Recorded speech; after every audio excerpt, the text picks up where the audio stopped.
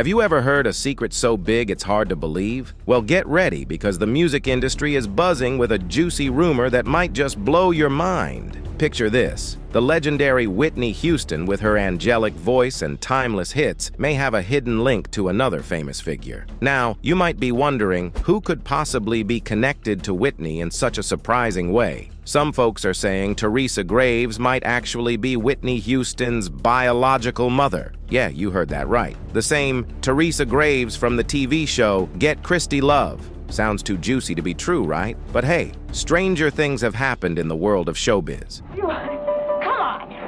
Come on, it's only 15 floors down. The rumor mill is churning with whispers about Whitney's family secrets. It's like something out of a movie, but it's real life. Now, the rumor is that Cissy Houston, who has been living quietly, has finally stepped forward to confirm what people have been speculating for years. Now you might be scratching your head, wondering why this is such a big deal. Well, imagine finding out that the person you thought you knew so well had a whole different story hidden away. It's like discovering a secret treasure buried in your backyard. Teresa Graves was a big name back in the day, just like Whitney. And guess what? They kind of look alike too. I'm talking about similar facial features, the shape of their eyes, even the way they smile. Coincidence? Maybe. Or maybe there's something more to it. Plus, there's talk that Teresa and Whitney's mom, Cissy Houston, were friends back in the day. Coincidence? Maybe not. Now, you might be wondering, how could such a big secret stay hidden for so long? Well, that's part of what makes this rumor so intriguing. Could it be true that Whitney's real mother was someone other than who we've always believed? So folks, get ready to be surprised, intrigued, and maybe even a little emotional. This is the inside story you've been waiting for, straight from the source. Whitney Houston's mom is ready to tell all, and you won't want to miss a word of it. So now let's talk about Teresa Graves, the alleged mom of Whitney Houston, and how they're possibly connected.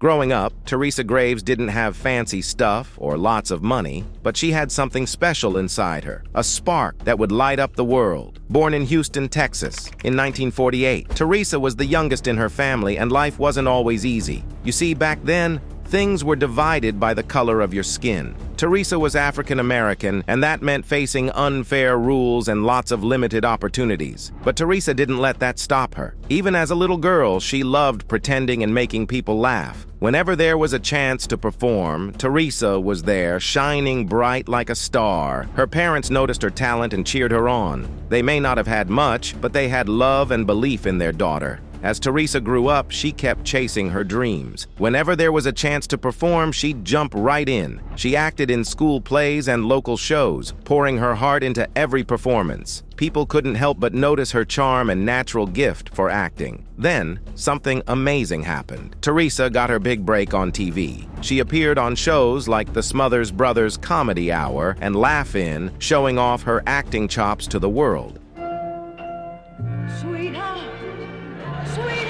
But the real magic came when Teresa landed the role of Christy Love, an undercover detective with smarts and sass. This wasn't just any role, it was groundbreaking. Teresa became the first African American woman to play the lead in a crime drama series. Get Christy Love wasn't just a show, it was a game changer. Teresa's character wasn't waiting to be rescued. She was the one doing the rescuing. She showed everyone that black women could be strong, smart, and powerful, breaking stereotypes along the way.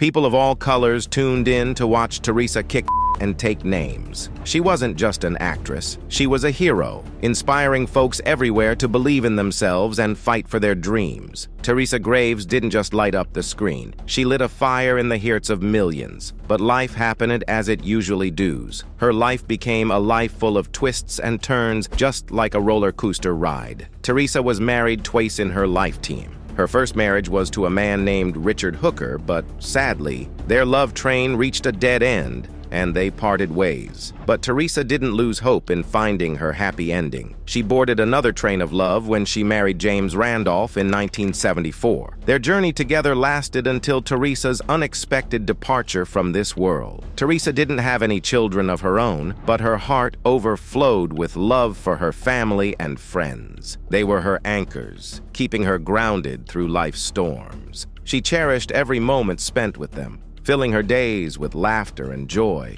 Outside of her acting gigs, Teresa had a bunch of hobbies that brought color to her life. She loved diving into books, letting her imagination run wild with each turn of the page. Music was her soul's food, and she sang like a bird, filling the air with beautiful melody. And oh, she was a spiritual soul, finding strength in her faith when life threw curveballs her way. But Teresa's journey wasn't all sunshine and rainbows. Being a black woman in the entertainment world during the 1960s and 1970s meant she faced more than her fair share of hurdles. Racism and discrimination tried to dim her light, but Teresa stood tall, refusing to let them cast shadows over her dreams. She became a beacon of hope, showing that talent knows no color. One of Teresa's toughest moments came when her show, Get Christy Love, got the boot in 1975. Despite its roaring success and critical acclaim, the show was axed after just one season. It hit Teresa hard, like a punch to the gut, but she wasn't one to stay down for long. With grit and determination, she dusted herself off and marched forward, ready to conquer new stages. After the show ended, Teresa kept acting, but she didn't land roles as big as Christy Love. She popped up on other shows like The Love Boat and Fantasy Island, but nothing quite matched the excitement of her detective days. Still, Teresa didn't let that stop her. She kept working in the entertainment world and even tried her hand at theater. But as time passed, she found herself moving away from acting and into other things. You see, Teresa wasn't just about fame and fortune, she cared about helping others. She spent a lot of time doing good deeds for different causes and being involved in her community. People admired her not just for her acting skills, but also for her big heart. Then, tragedy struck. In 2002, there was a terrible fire at Teresa's house. It happened because of a broken heater, and even though people tried to save her, Teresa couldn't escape the smoke. Her death was like a punch in the gut for everyone who knew her and those who loved watching her on screen. People were heartbroken because Teresa wasn't just an actress. She was a friend, a role model, and a real-life hero. After she passed away, people couldn't stop talking about Teresa. They shared stories about how she broke barriers in Hollywood and how she inspired others to chase their dreams. Even though she might not have become a megastar after Get Christy Love, Teresa's impact was huge and lasting.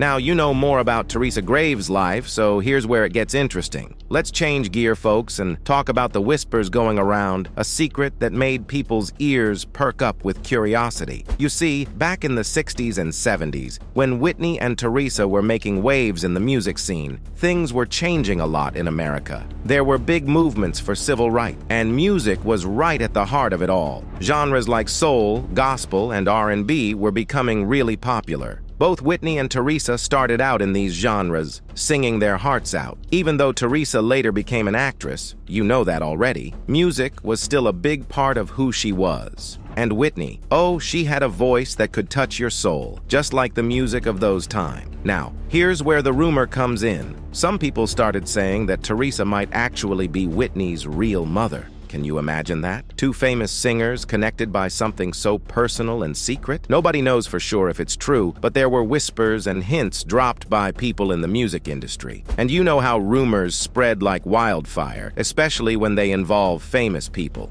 Back then, being a singer, especially a black woman like Whitney or Teresa, wasn't easy. There were lots of challenges, and sometimes they had to keep parts of their lives hidden to protect their careers. Maybe that's why, if there was any truth to the rumor, they kept it hush-hush. And you know, back then, people didn't talk openly about personal stuff like they do now. If something scandalous came out, it could really hurt their careers. So maybe that's why the rumor stuck around for so long, even though there wasn't any real proof. But even if it wasn't true, people couldn't help but wonder. Whitney and Teresa were both such incredible singers, and yeah, they had a lot in common. Same skin tone, eyes, nose, smile, and hair. Even their voices sounded alike, both blessed with powerful singing chops. Teresa was born in 1948 and Whitney in 1963, both in Houston, Texas. But there's more. Some say Teresa had Whitney when she was just 15 and gave her up for adoption to Cissy Houston, who was Teresa's aunt. And get this, Teresa's middle name was Marie just like Whitney's. Maybe that's why the rumor kept coming up again and again, even long after they were gone. But you know what's really special about this rumor? It shows just how much people loved Whitney and Teresa. They were more than just singers to their fans. They were like symbols of strength and inspiration, especially for black women who faced a lot of challenges back then. Now let's talk about their careers. Teresa started off singing with the Doodletown Pipers, a group that appeared on TV in the late 1960s. Then she shifted gears to acting, showing up on shows like Rowan and Martin's Laugh-In and in movies. But her big break came when she played Christy Love, a cool detective fighting crime in LA. She was a trailblazer, becoming the first black woman to headline her own drama series. She opened doors for stars like Pam Grier and Angela Bassett, as mentioned earlier. Whitney, on the other hand, became a superstar in the music world. Her voice ruled the charts in the 80s and 90s. Born in Newark, New Jersey on August 9, 1963, she wasn't just destined for greatness. She was greatness, right from the start. Growing up in a house filled with music, her mom, Cissy Houston, yeah, you heard right, herself a renowned gospel singer, played a big part in shaping Whitney's love for music. Surrounded by family members like Dionne Warwick and Dee Dee Warwick, who were also into music, Whitney was immersed in a world where songs weren't just tunes, but a way of living. Her journey into the music biz started with a bang in the early 1980s when music bigwig Clive Davis spotted her talent. Her debut album in 1985 shot her straight to the stars with three back-to-back number one hits, making her a global sensation. With her powerful voice and magnetic stage presence, Whitney became a name that everyone knew and loved. Throughout her career, Whitney blended pop, R&B, and gospel into her music, creating a sound that was uniquely hers. Hits like I Will Always Love You and I Wanna Dance with Somebody became anthems for a generation, earning her awards and love from fans worldwide.